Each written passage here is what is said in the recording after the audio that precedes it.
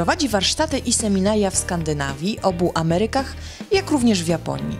Od dwóch lat odwiedza szkoły muzyczne w Polsce. W ciągu dnia gra pierwsze skrzypce prowadząc warsztaty z uczniami, a wieczorem zasiada przy fortepianie koncertując razem z nimi. Waldemar Malicki, jeden z najbardziej wszechstronnych pianistów w Polsce. Ja to lubię. I wydaje mi się, że tak jak z, y, no, nigdy nie byłem pedagogiem takim normalnym, natomiast przez całe życie prowadziłem tego typu, rzadko bardzo, ale, ale od bardzo dawna tego typu y, spotkania, zwłaszcza poza Polską, w Polsce dopiero od niedawna. Y, I zawsze zau- zauważyłem, że to ma obopólną korzyść, co pewnie wszyscy pedagodzy potwierdzą, a dla mnie to było odkrycie, że ja się też od tych uczniów trochę uczę. 14 września pianista odwiedził Państwową Szkołę Muzyczną w Łukowie. Bo ja jestem z tej strony Wisły. Też urodziłem się w Lublinie i stamtąd pochodzi cała moja rodzina. I akurat te szkoły, które teraz zamierzam odwiedzić, to są wszystkie po tej stronie Wisły. Tym bardziej, że nigdy życiu nie byłem w Łukowie, więc skoro nadarzyła się okazja, to, to dlaczego nie? Po całym dniu prób najlepsi uczniowie mieli okazję zaprezentować publiczności swoje umiejętności, ale w niecodziennym towarzystwie. Jestem no, pod wrażeniem, jak, jak wiele udało im się zrobić. Właściwie każdemu z nich, mniej więcej każdemu wykonawcy przysługiwało około pół godziny próby i naprawdę udało im się y, dokonać y, nie- nietypowych rzeczy.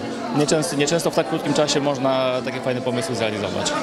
Każdy z uczniów, oprócz wyjątkowej lekcji muzyki, jaką miał okazję przeżyć, zdobył też dodatkowe sceniczne umiejętności i wskazówki, jak dobrze przygotować się do koncertu. Pracowało się bardzo świetnie z panem Malickim, y, szczególnie z jego żartami.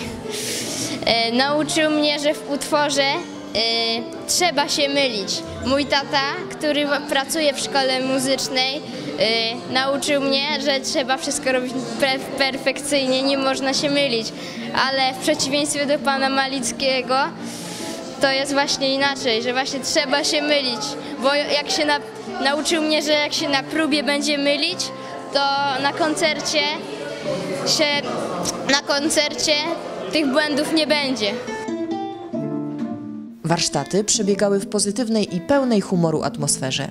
Jednocześnie poprzeczka zawieszona była bardzo wysoko. To, to jest, no, wystawiam moich kolegów młodych na normalne granie, na taki cios, powiedziałbym troszeczkę, taki, nie, nie bez taryfy ulgowej, po prostu normalnie gramy i trzeba się szybko orientować. Od razu wychodzą różne umiejętności lub y, rzeczy do nadrobienia i cechy charakteru.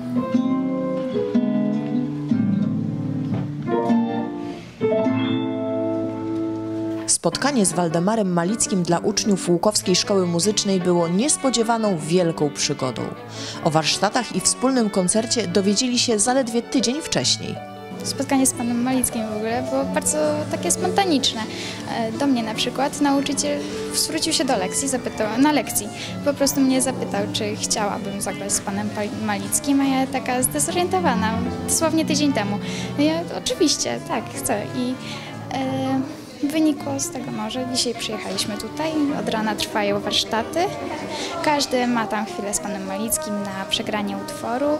E, jest bardzo wesoło. Pan Malicki, jak widać wcześniej było, jest bardzo dowcipny i wszystko było takie na luzie, bez stresu.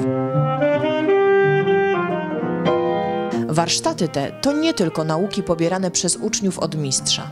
Jak zdradził nam Waldemar Malicki, uczniowie również dają mu cząstkę siebie. Oni, oni depozyt, a ja im kredyt.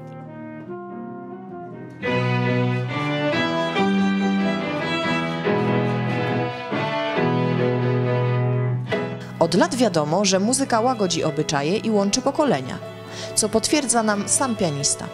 Więc ci młodzi ludzie są, no ja powiedziałem, nowocześni i znaczy jest tylko jeden, jeden, jedna płaszczyzna porozumienia. To jest właśnie ten utwór, który gramy i nad którym pracujemy i który no, naprawdę wymaga, e, no muzyka jest jedna i, i, i jak, jaki nie, był, nie byłby to gatunek, to ciągle jest to ten sam s- środek wyrazu, ten sam język, którym się posługujemy, więc, więc tutaj się dopiero spotykamy.